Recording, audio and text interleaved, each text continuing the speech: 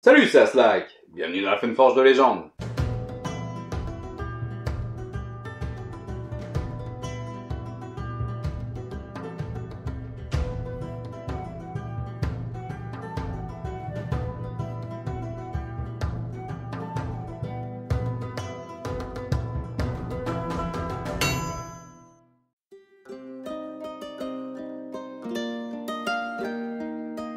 Nous sommes en 732. Charles Martel, père de Pépin le Bref, grand-père de Charlemagne, est en guerre contre les morts.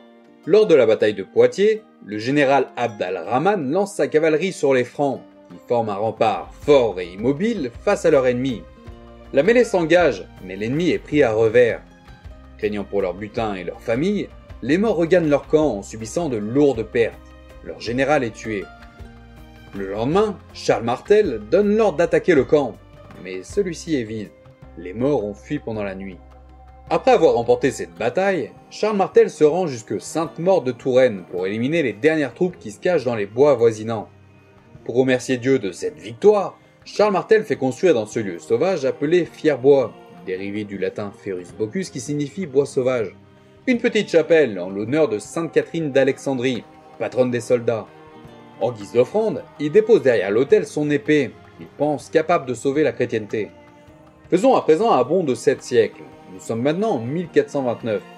Jeanne d'Arc, fille de paysans originaires de Lorraine, se fait conduire auprès du dauphin, le futur Charles VII. Escortée par six hommes, elle arrive à Sainte-Catherine de Fierbois.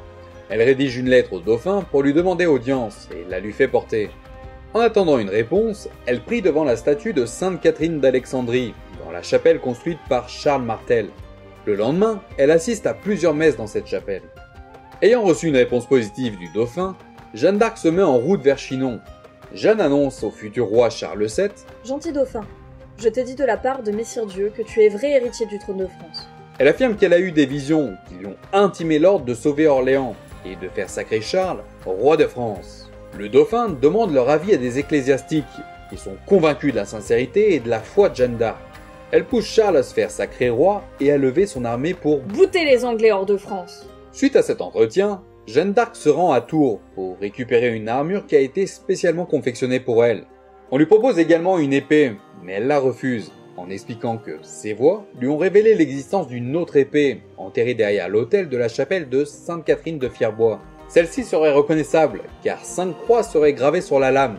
Ces cinq croix symbolisent les cinq plaies du Christ, celle des mains et des pieds de Jésus de Nazareth crucifié, et de sa plaie au flanc faite par le centurion Longinus avec sa lance, pour constater la mort du Christ. Elle envoie donc un armurier de Tours à Sainte-Catherine de Fierbois pour récupérer l'épée. Les gens d'église la sortent de terre et frottent la lame. Aussitôt, toute la rouille tombe sans effort, et l'épée retrouve son éclat et sa prestance d'antan. Pour loger l'épée, les prêtres de Fierbois lui font cadeau d'un fourreau de velours vermeil, les gens de Tours lui offrent un fourreau de drap d'or brodé. Mais Jeanne d'Arc préfère se fabriquer son propre fourreau, de cuir renforcé.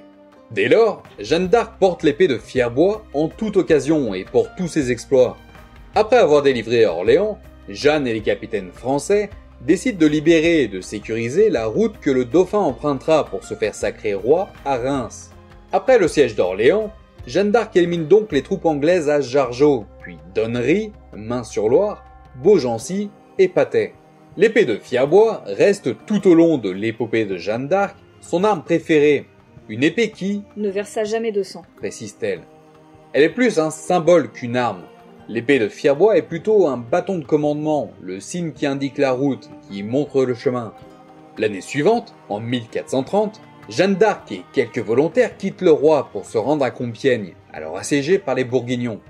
C'est à ce moment-là que son destin bascule. Jeanne est capturée. Par deux fois, elle tente de s'échapper, sautant même par une fenêtre en se blessant gravement. Mais elle échoue à chaque fois. Elle est vendue aux Anglais pour la somme de 10 000 livres tournois et est emmenée à Rouen pour être jugée.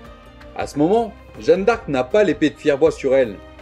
Au cours de son procès, les juges, à plusieurs reprises, insistent pour savoir d'où provenait et où se trouvait sa légendaire épée. Jeanne répond alors Tandis que j'étais à Tours, j'envoyais chercher une épée qui se trouvait dans l'église Sainte-Catherine de Fierbois, derrière l'hôtel. Les juges, interloqués, demandent Comment saviez-vous que cette épée fut là? Jeanne ajoute alors Cette épée était en terre, toute rouillée, et la garde était ornée de cinq croix. Je sus qu'elle se trouvait là par mes voix, et l'homme qui la la chercher ne l'avait jamais vue. J'écrivis aux ecclésiastiques du dit lieu qu'ils voulussent bien m'envoyer cette épée, et ils me l'envoyèrent. Elle n'était pas trop enfoncée en terre, derrière l'autel comme il me semble. Aussitôt après que l'épée eut été trouvée, les ecclésiastiques du dit lieu la frottèrent, et aussitôt la rouille tomba, sans difficulté. Ce fut l'armurier de Tours qui l'alla chercher. Les prêtres de Fierbois me firent don d'un fourreau, et les habitants de Tours d'un autre. On fit donc faire deux fourreaux, l'un de velours vermeil et l'autre de drap d'or. Et moi, j'en fis faire un troisième de cuir solide. Les juges demandent donc où se trouve actuellement l'épée. Et Jeanne leur rétorque avec aplomb. Cela ne concerne pas le procès, et je ne répondrai pas là-dessus. Jeanne d'Arc finit par être inculpée pour 70 chefs d'accusation, parmi lesquels ressortent le fait de porter des habits d'homme, le fait de s'en remettre systématiquement à Dieu plutôt qu'aux hommes d'église, l'hérésie, le blasphème ou encore le mensonge. Elle est donc condamnée au bûcher et meurt le 30 mai 1431. Pour éviter tout culte posthume de Jeanne d'Arc, trois crémations successives sont faites. La première tue Jeanne d'Arc par intoxication à cause des gaz toxiques. La seconde calcine le corps, ne laissant que le cœur et les entrailles. Pour la troisième crémation, le bourreau ajoute de l'huile et de la poix, ce qui ne laisse ensuite que des cendres et quelques débris osseux qui sont dispersés dans la Seine, afin qu'aucune relique ne puisse être faite à partir des restes du corps de Jeanne d'Arc. Après la mort de Jeanne, en 1440, l'église dans laquelle se trouvait l'épée de Fierbois est incendiée. Aussitôt, le roi Charles VII commande la construction d'une nouvelle église sur l'emplacement de la précédente. Elle a par la suite été restaurée en 1859. En entrant dans l'église, on peut voir sur la droite l'emplacement où fut retrouvée l'épée de Fierbois. Et en regardant le cœur, en direction de l'autel, on peut voir des représentations de Jeanne d'Arc. Concernant ce qu'il est advenu de l'épée de Fierbois, plusieurs rumeurs se répandent. Différents chroniqueurs, ainsi que le page de Jeanne d'Arc lui-même, mentionnent qu'elle avait l'habitude de l'utiliser pour frapper sur le dos des prostituées qu'elle rencontrait. Selon le duc d'Alençon, elle brisa l'épée de Fierbois sur le dos d'une prostituée à Saint-Denis. Charles VII se serait montré très mécontent du bris de l'épée, car elle avait pris des allures d'armes magiques parmi les soldats qui accompagnaient Jeanne d'Arc, et sa destruction était un très mauvais présage. Il n'y a en revanche aucune indication sur ce que sont devenus les morceaux, mais il aurait fallu que l'épée soit bien fragile pour qu'elle puisse se casser sur le dos de quelqu'un qui ne portait même pas d'armure. La mention d'une prostituée s'opposant à la symbolique religieuse de l'épée, cette histoire a probablement été inventée pour que l'épée de Fierbois soit définitivement oubliée, et qu'elle puisse être mise en lieu sûr, et que personne ne cherche à la retrouver.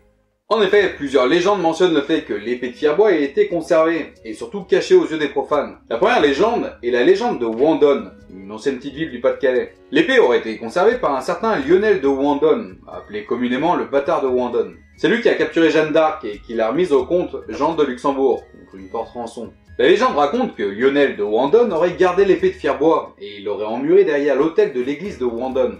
Bien évidemment, de nombreuses fouilles ont été menées pour essayer de localiser l'épée, mais en vain. La deuxième légende est celle de Lagny-sur-Marne. Elle prend forme en 1430, un peu avant la capture de Jeanne d'Arc. Elle se trouve justement à Lagny-sur-Marne, et apprend que des Bourguignons, alliés des Anglais, se trouvent à quelques kilomètres de la ville. Jeanne d'Arc les attaque et fait prisonnier le chef de ses ennemis. Elle s'empare de son épée et revient donc à Lagny-sur-Marne avec deux épées. Peu de temps après, Jeanne d'Arc quitte la ville, mais des témoins affirment qu'elle n'avait qu'une seule épée en repartant. Quelques jours plus tard, Jeanne d'Arc est faite prisonnière à Compiègne. Lors de son procès, elle dira qu'elle a gardé l'épée qu'elle avait prise au chef de guerre ennemi, jusqu'à son arrestation, mais qu'elle a offert l'autre épée à l'abbaye de Lagny-sur-Marne. Évidemment sans préciser s'il s'agit bien de l'épée de Fierbois. Une troisième légende est basée sur l'héraldique, qui est l'étude des blasons, et sur l'onomastique, l'étude des noms propres. Des historiens pensent que l'épée de Fierbois a pu regagner le centre spirituel de la forêt des Carnutes, à l'est d'Orléans. En effet, si on relie les villes de Donnery, Jargeau et Saint-Benoît-sur-Loire, on obtient un triangle sacré de l'épopée de Jeanne, au centre duquel se trouve la forêt des Carnutes. En se basant sur les blasons, les historiens ont rattaché la ville de Wandon, de notre première légende, à Donnery, mais également à la famille des seigneurs de Donnery. Selon leur conclusion, les restes de l'épée auraient été déposés dans le Dunrix, c'est-à-dire le centre sacré de la forêt des Carnutes. D'autres légendes disent aussi que l'un des frères d'Arc, qui était chargé de veiller sur les biens de sa sœur, aurait eu l'épée de Fierbois en sa possession bien après la mort de Jeanne. Mais toutes ces légendes ne pourraient être que des leurs pour que l'épée de Fierbois ne soit jamais retrouvée. Ou au contraire, peut-être s'agit-il d'indices à suivre pour permettre à un esprit averti de retrouver le véritable lieu où se trouve l'épée divine du royaume de France. Personne ne saura probablement jamais ce qui est advenu de l'épée de Fierbois, qui a disparu aussi mystérieusement qu'elle était apparue. Et voilà qui clôture ce Funforge de légende. J'espère que ça vous aura plu. Si c'est le cas et que vous trouvez que mon travail mérite salaire, vous pouvez toujours faire un don sur Tipeee. Et bien entendu, n'hésitez pas à vous abonner et à venir me rejoindre sur les réseaux pour être tenu informé des prochaines vidéos. Et moi je vous dis à vendredi prochain pour une nouvelle découverte. Salut